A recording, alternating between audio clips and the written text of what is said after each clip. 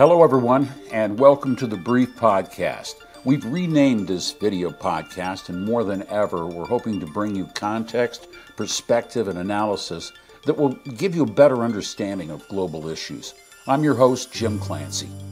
The war in Gaza goes on, death toll surpasses 30,000, mostly civilians and mostly women and children. Negotiations to free more than 100 Israeli hostages are stalled. Hunger stalks more than 2 million Palestinians trapped there. Prime Minister Netanyahu openly defies President Biden's calls for restraint.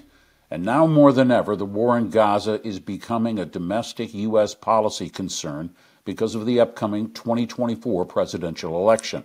Well, joining us now to discuss all of this is David Rothkopf, a former Clinton administration official, a longtime analyst of national security and international affairs who hosts his own highly successful podcast, Deep State Radio. Hello and welcome, David. Pleasure to be here. David, how much has Gaza really upended everyone's plans? The Israelis' plans, the Palestinians, as well as the Biden administration? Well, I, you know, I, I think there was uh, an expectation um, early in the Biden administration that it could extricate itself from the Middle East, from the forever wars, um, by managing the exit from Afghanistan. Um, and even after that took place with some um, bumps in the road, some some unfortunate developments, uh, they thought they could shift their focus to the Indo-Pacific region uh, and to other global priorities. Uh, but clearly, it's a little bit like that scene in The Godfather, where you know, um, uh, you know, Michael Corleone says essentially, you know, I keep trying to get away, and it keeps drawing me back in.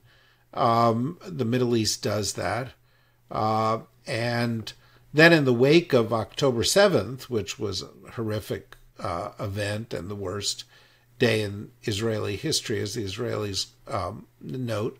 Um, I think there was a, an expectation that perhaps this crisis could be managed um, as past crises have been managed, so that it might last days or weeks, um, and that it might be difficult for days or weeks, um, but that it would be containable, and that you know people would be able to put it behind them.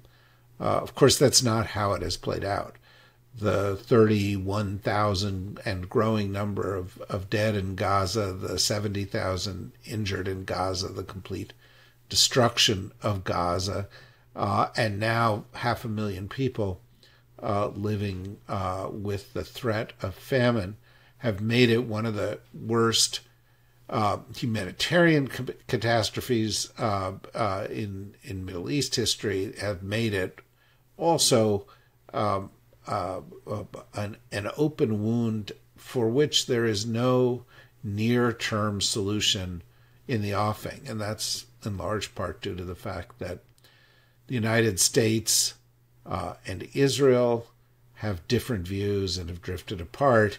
Um, uh, and uh, obviously, Hamas and Israel have different views. Regional players have different views. Uh, the Palestinian Authority and Israelis have different views and we've made no material progress in in bridging any of those divisions uh, in the course of the past five months. Prime Minister Netanyahu has been adamant he is going for victory over Hamas. Is that a fool's errand to think that you can stop a movement like this that's born uh, of refugees, that's born of decades and decades of impunity for one side as it continues to occupy the other? Well, uh, first of all, I think the majority of Israelis in recent polls have indicated that they don't think that the initial goal of uh, uh, Netanyahu to eliminate Hamas is an achievable goal. And of course, it's not an achievable goal. Perhaps there were 30 or 40,000 people in Hamas. They can't identify them all, they can't get to them all. Uh, they're not going to eliminate them. Uh, uh, defeating Hamas, that's a that's another issue. Could you decapitate it? Uh, could you dis, uh, you know, uh, uh, eliminate its sources of, of power, including the funding that the Israelis had actually helped uh, facilitate? yeah, you, you, you, could do that. You could dr- defeat it. You could dramatically weaken it. Um, but that has not been their goal to date. Then compounding this problem is that, you know, it's been the U.S. experience and the experience of others who've fought in similar situations that if you go in and you produce a lot of civilian deaths, uh, the result will be uh, the creation of new uh, extremists. Uh, and, uh, you know, that is something that I, I, think can be expected for a long time to come. Indeed, the U.S. Uh, Director of Central Intelligence, Bill Burns, yesterday in congressional testimony suggested that we might see generations of extremists produced uh, by the horrors of this conflict. When we look at it, and there's no way to look away, when we look at it and see this utter toll of civilian deaths, there's more and more pressure piling up on Joe Biden to do something. He's tried to use strong language, language behind the scenes, harsh rhetoric. Nothing's working. Even his latest call for a red line, saying that Israel must refrain from an assault on Rafah, one of the last refuges of the people who fled from other parts of Gaza. Even that red line that the president laid down was openly defied by Mr. Netanyahu uh, shortly after he uttered it.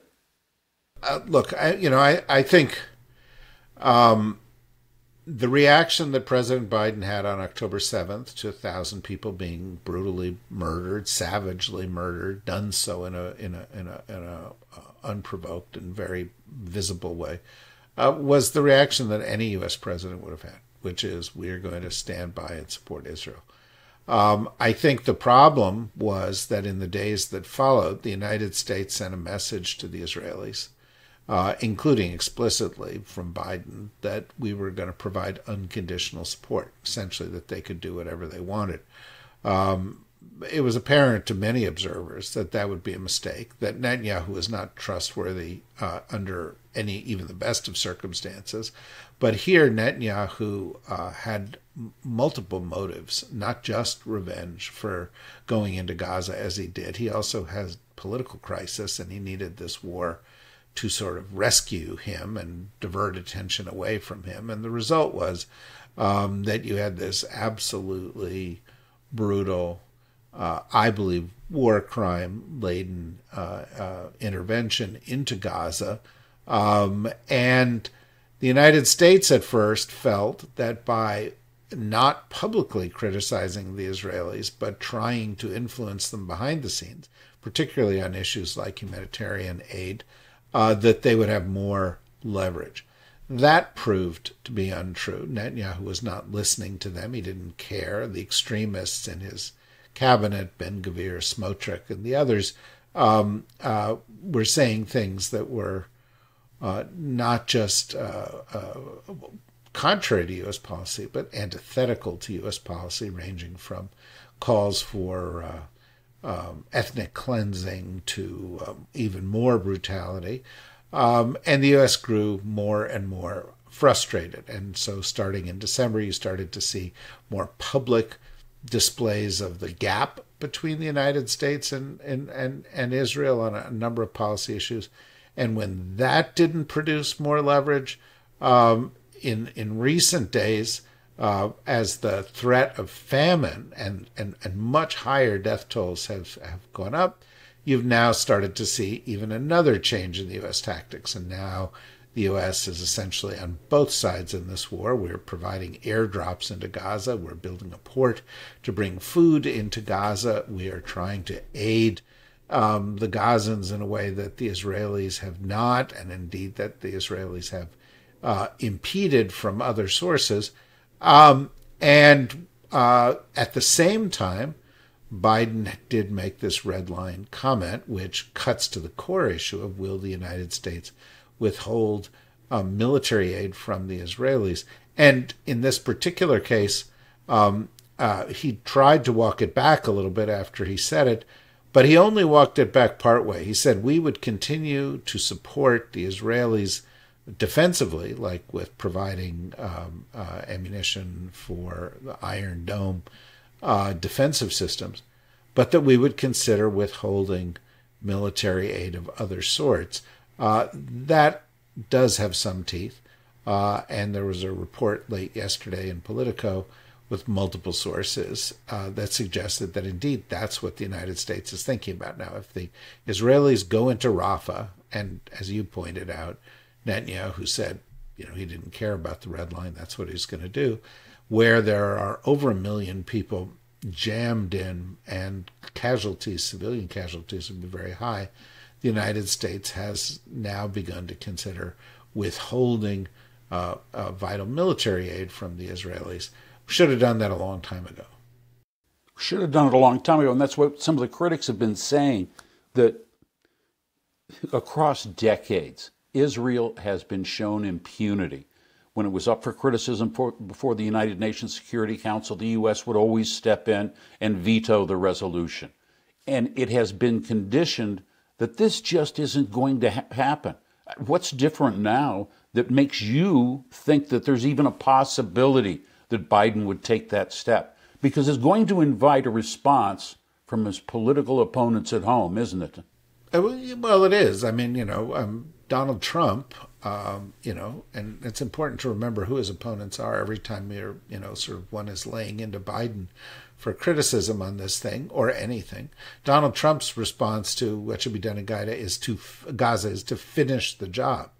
But Donald Trump would undoubtedly give a much greater blank check and greater amount of support to Netanyahu, and Netanyahu knows it. Netanyahu is trying to get um, uh, uh, you know, the kind of traction that would enable him to remain in power until Trump possibly could win, because he thinks that would work to his advantage. Um, Biden is dealing with essentially um, more forces than just this crisis. He's also dealing with a generational shift. He is of a generation that remembers Israel as the David fighting the Goliath of the Arab nations, Israel as the country that made the desert green. Uh, of course, starting in the early 1980s, uh, Israel became seen as the strongest power in the region, and in, in places like Lebanon, flexed its muscle in very brutal ways and was seen as a as a bully. Uh, and so people 20, 30 years younger than Biden have a different view. And the younger generation in the United States, and this I think is really substantial, they don't have any of the natural affinity for um, uh, Israel that the United States has had in the past. They don't remember the Cold War. They don't remember Israel as a vital ally in a region that was filled with countries that were closely tied to the Soviet Union. Uh, they don't remember a period in which the United States was not the leading energy producer in the world, in which we were dependent on the Middle East. So Israel's strategic value to them has has is has declined from what it was for other generations, while at the same time uh, they see the brutality of Israel. And so, you know, the under 35 generation has absolutely no patience um, uh, uh, for the Israelis. And I believe one of the lasting consequences of this conflict um, will be um, uh, uh, a sea change in U.S. Israel policy, and it will not be the kind of blank check special relationship that it was in the past. Speaking of blank checks, over the years, some 34 years, Joe Biden has received, what, $5.5 million from AIPAC. Now, a group of progressives within the Democratic Party are saying all candidates don't take any donations from AIPAC. This would be unprecedented. And not only AIPAC, all of the other you know, PACs that are associated uh, with pro Israeli uh, stands stands that some people see as all pro Likud, all pro the settler movement. And they want to just divest themselves of that. And they want the administration and the Democratic Party to follow it. Well, look, I mean, I think one of the problems in this moment is that it's fraught in multiple ways. Obviously, the attack on, on October 7th, which was horrific, has produced a, a, a revulsion uh, and, and, and, a, and a kind of uh, natural uh, impulse to uh, you know come together and uh, uh, you know advance what they see as the interests of Israel among some pro-Israeli groups, um, and um, the Israeli response to the attack uh, has had you know sort of the counter effect with other groups that see it as repellent. Um, uh, you know, I think it's really important at a time like this to be very careful about how we characterize positions. So, um, uh, you know, groups like AIPAC say they're pro Israel, when actually, as you say, they're pro Likud, they're pro Israel's right wing. And groups like AIPAC and people associated with them say that people who are critical of Netanyahu are anti Israel or worse, anti Semitic, when in fact they're anti the positions of one extremist sect in political in Israeli politics. Um, and and so is it natural that some groups draw a distinction and say, no, the AIPAC definitions don't work for us anymore. We want to be supportive of Israel. But frankly, we don't think being supportive of Netanyahu policies is supportive of Israel. This is something that Biden himself said the other day. What Netanyahu is doing, what the extreme right has done in Gaza, is put Israel at much greater risk, has created many new security threats, has not reduced the risk of another October 7th. And um, uh, so, actually, being supportive of the the Likud or the extreme right in Israel is actually anti-Israel. Uh, similarly, there are many people. I, you know, I am a, a son of a, a, Holocaust survivor. Most of my father's family was killed in the Holocaust, um, and I have been critical of the Netanyahu government, and have been accused by prominent people in the uh, sort of uh, traditional uh, uh, pro Israel establishment community of being anti Semitic, which is, you know, I'm Jewish. My family's Jewish. They, you know, um, you know, it's I, couldn't be farther from the truth. But emotions are running very, very high, um, and people are using charged phrases to achieve their political objective uh, without any regard for the underlying truth that's associated with it.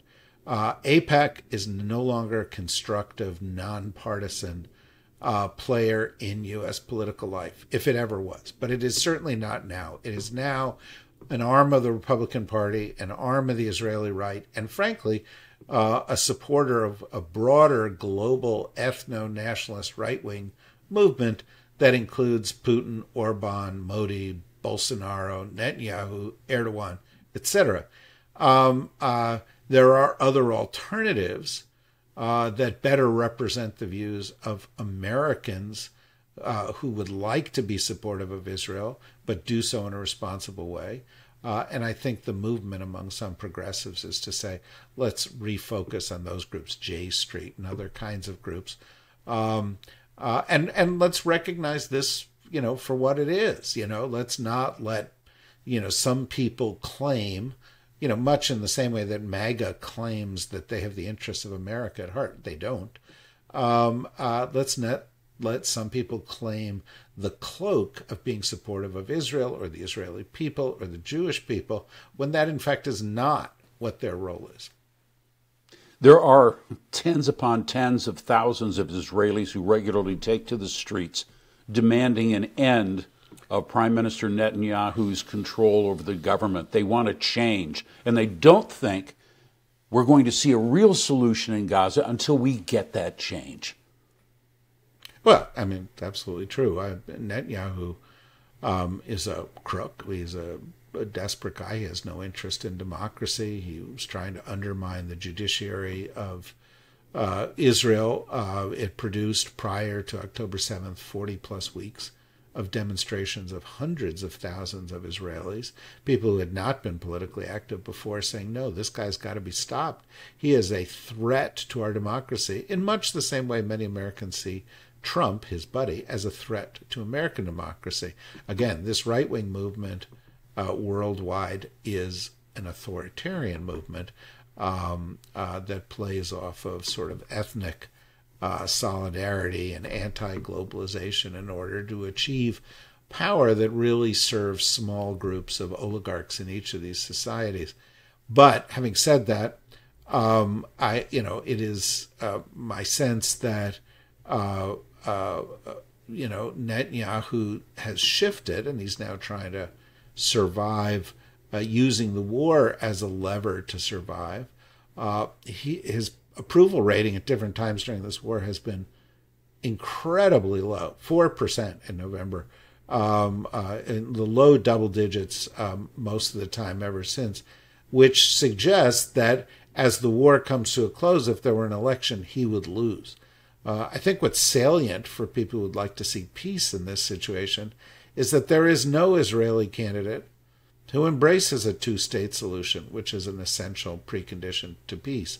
There is no Israeli candidate uh, who is likely to win, that is, um, who uh, uh, supports the empowerment of the Palestinians, wants to truly stop the settlers in the West Bank, uh, wants to uh, restore to the Palestinians the kind of territory that they need in order to have uh, any chance of uh, self determination and, and viability as an uh, independent political entity. Uh, and so, even if you get past Netanyahu, you're still going to have some serious problems here. And I think that's why this is going to be an open wound uh, in the region for a long, long time to come. Well, that's also why it's critical for somebody to have a plan for what to do when it does come to some kind of a, a conclusion. Now, Israel has used this as an opportunity to uh, undermine, eliminate UNRWA, uh, the UN Refugee Agency for the Palestinians, specifically for the Palestinians. That's why it was created. Uh, Netanyahu wants to do away with it. Some Western countries, in a knee jerk reaction, heard allegations that were made against UNRWA staff and immediately canceled aid. The U.S. was among them. And now it's surfacing that a lot of the evidence that the IDF was able to muster isn't credible. It, it, it doesn't make the case. But we see these things being dismantled while nothing is being built up to put in its place. Uh, Joe Biden's talking about recognizing a Palestinian state, but down the road, much like Oslo promised something down the road.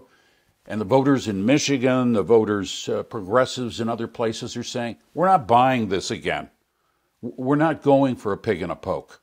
And Biden's got to somehow overcome that. You walk the halls of Washington, and I, I think you're well tuned in uh, to what the chatter really is. How concerned is the Democratic Party?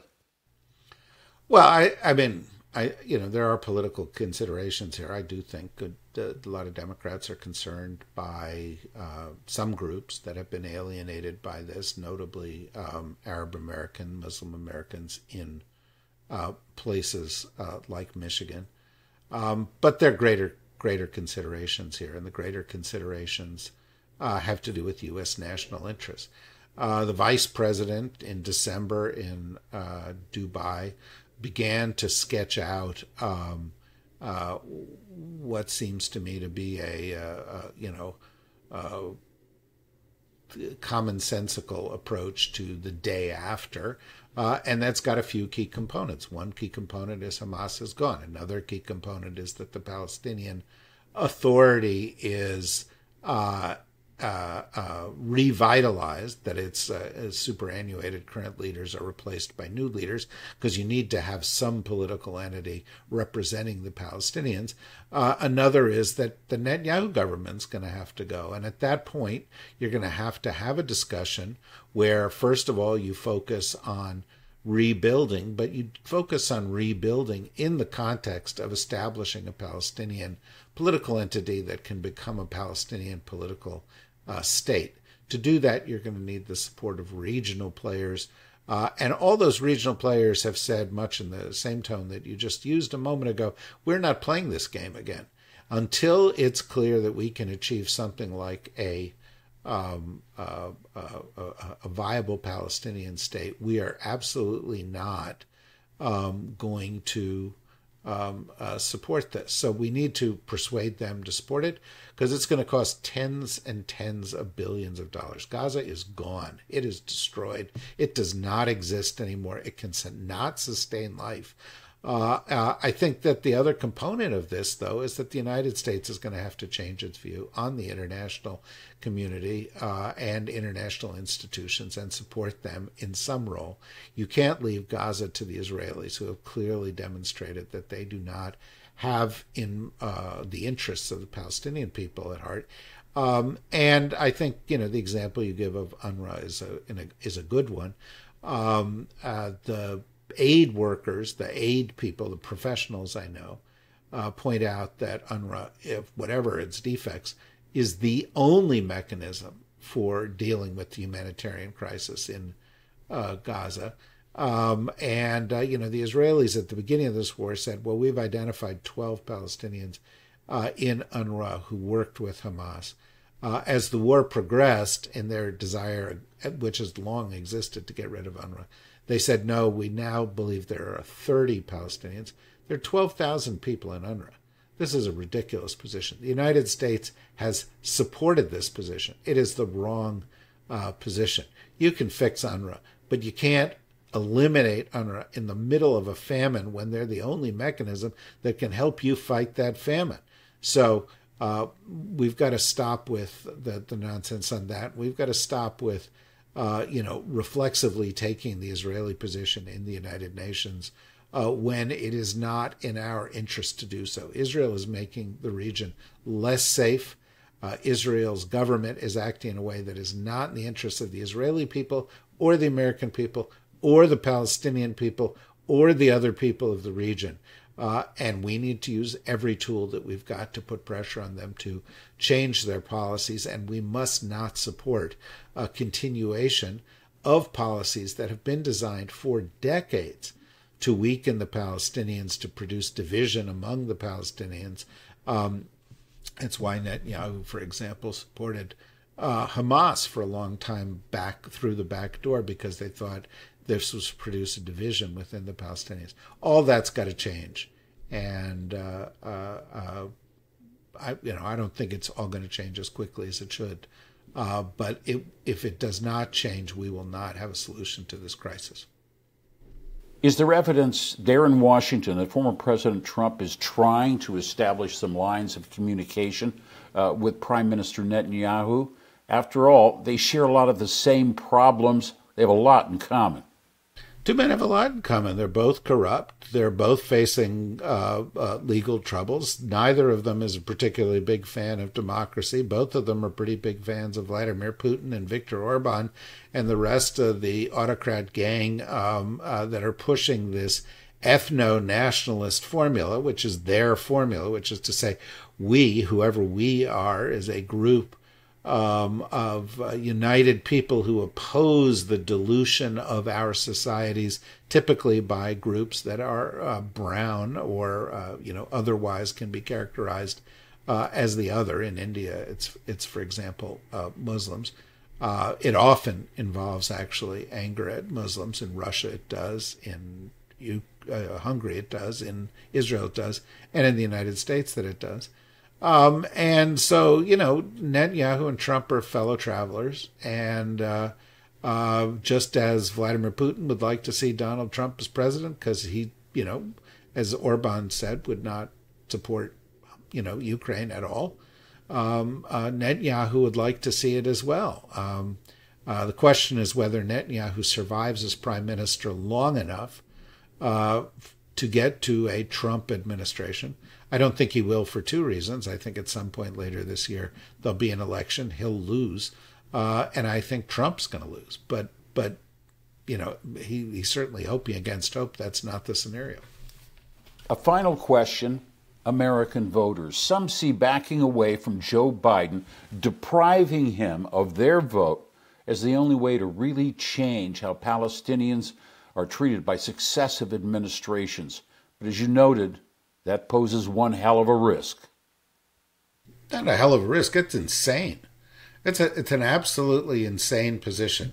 It's insane because Trump has said he will be more likely to do more things that are bad. He's the author of the Muslim ban. He wants to institute a new Muslim ban the day that he comes into power. He is blank check for Putin. He is blank check for Netanyahu. He will support um, uh, damage done by those actors against uh, uh, you know, you know, Palestinians against the Ukrainians against other groups, um, uh, much more vigorously than Biden would.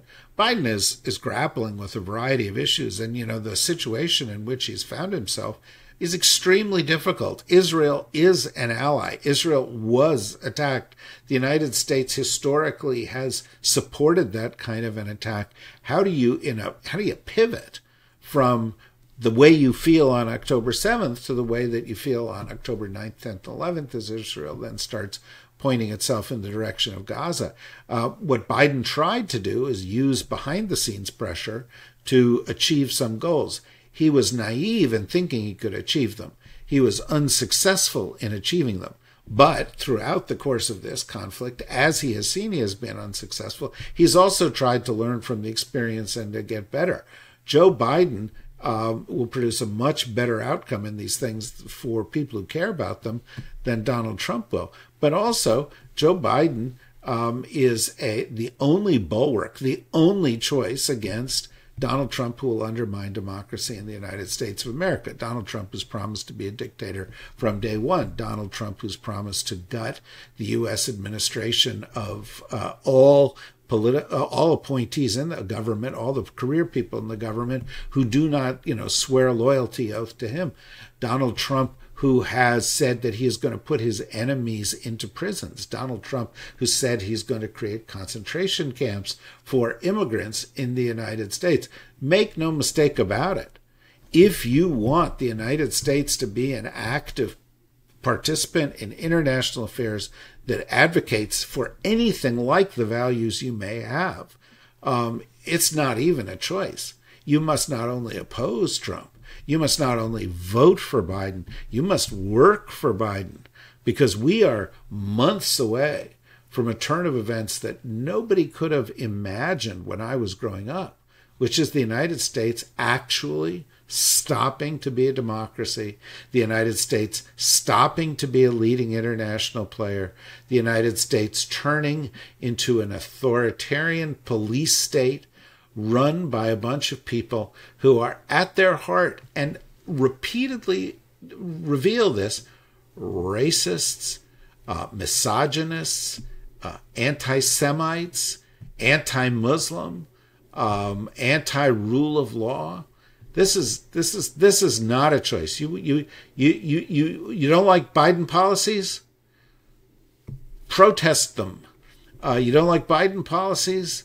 Uh, the only way you're going to have any influence over what U.S. policies are is if Biden gets reelected. So come up with a good strategy to influence him after he gets reelected. But if you do anything to reduce the likelihood that he is elected, you will lose influence you will see a much worse solution uh, and you'll be doing lasting damage not just to the United States, but to the entire international community, which is dependent on the United States um, uh, in, in, in, in good times and bad to at least aspire to be an advocate for the kind of values that we talk about in the United States.